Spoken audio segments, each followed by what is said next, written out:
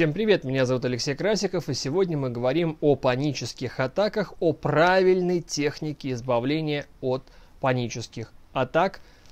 Досмотрите этот ролик до конца, он будет не длинным, но очень емким по технологии применения.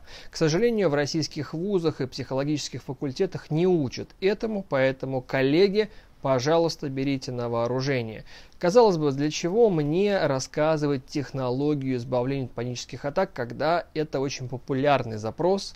Кстати, посмотрите предыдущее видео, которое называется «Основные ошибки и обязательно его изучите. Казалось бы, зачем мне снимать это видео, но если быть откровенным, я уже с 2011 года снимаю видео о панических атаках и о тревожных расстройствах, тысячу людей от этого избавились, и я надеюсь, что это видео увидят новые люди, которые тоже избавятся от панических атак.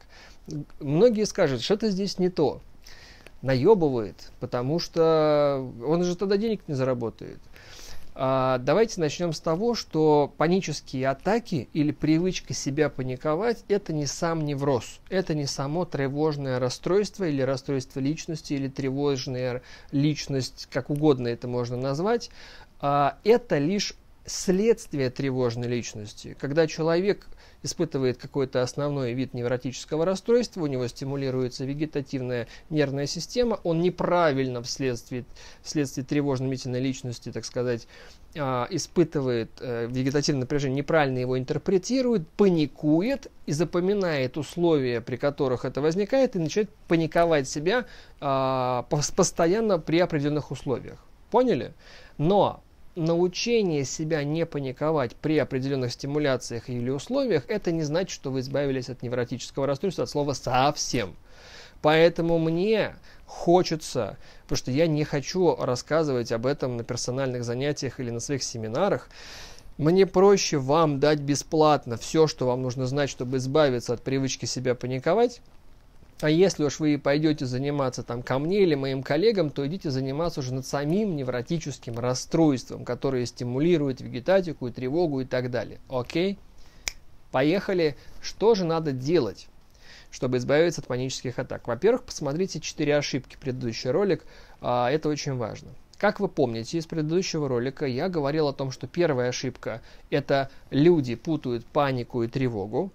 Вторая ошибка – это то, что люди не избегают контакта с вегетатикой и паникой. Третье – люди все-таки себе подыгрывают в конце. И четвертое – люди терпят. А вот теперь смотрите, как выглядит правильная техника. Запомните одно простое правило, которое позволит раз и навсегда избавиться от панических атак. Их нужно не прожить. Прожить это значит бездействовать. Бездействие лечит панические атаки. А теперь объясняю, как это выглядит научно. Большинство пациентов испытывают регулярные панические приступы, потому что они убеждены, что а, они успели как-то себе помочь, им повезло, они вот сегодня не умерли, и они успели что-то сделать выпить воду, карвалол, феназепам, позвонить маме, зубной фее, эльфу, выбежать куда-то. Им просто повезло.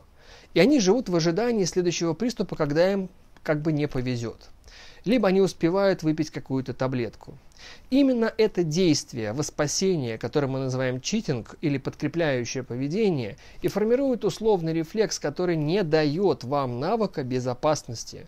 Вы на самом деле говорите, я испытала вегетатику, испугалась и себе помогла. Фух, я испытала вегетатику, испугалась и себе помогла. Вот это вот и себе помогла, это проблема. Поэтому выписываете все, на листочек, что вы делаете для того, чтобы побыстрее избавиться от вегетативного напряжения и паники. Звоню мужу в скорую, пью таблетки, пью успокоительные. Все это в строчку выписываете и убираете в сторону. Смысл очень простой.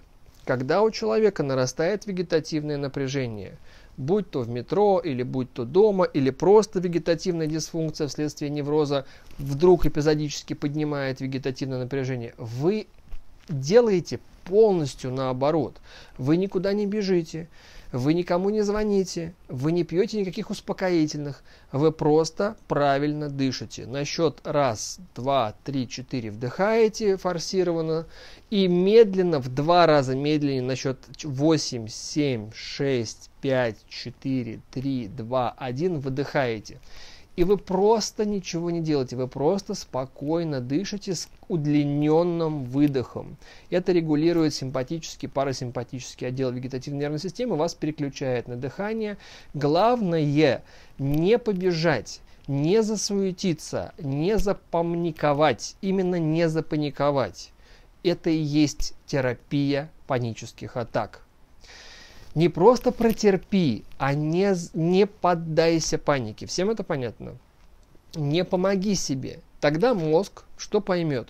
Он скажет, у меня был вегетативный стимул, я успела даже немножко испугаться, но я ничего не делала, я бездействовала, и у меня это прошло. Потом вы это повторяете несколько раз, и таким образом мы имеем что? У меня была вегетатика, я ничего не делал, и это закончилось. Значит, не надо ничего делать. И вы удивитесь, но страх ожидания вегетатики уйдет. Вы будете говорить примерно так. Да, у меня может возникнуть вегетативное напряжение, я даже могу испугаться, но ничего, я знаю, как с этим бороться. Нет никакой проблемы. Вот, этот, вот эта важная часть, понятно? Супер. Второй важный момент, который надо знать. А, принцип действия и принцип противодействия чем сильнее действие, тем сильнее будет противодействие. Соответственно, чем сильнее вы чему-то сопротивляетесь, чем сильнее вы говорите, только бы не было вегетатики, только бы не было паники, только бы не было, только бы не было, я так не хочу это терпеть, только бы это не было. Вы этим и создаете тревогу, вы этим и создаете напряжение. Поэтому соединяем первое и второе. Я бездействую во время вегетатики, и второе, я как бы иду на это. Да, у меня может быть вегетатика здесь и здесь, да, я могу успеть даже испугаться, но я не буду ничего делать во спасение.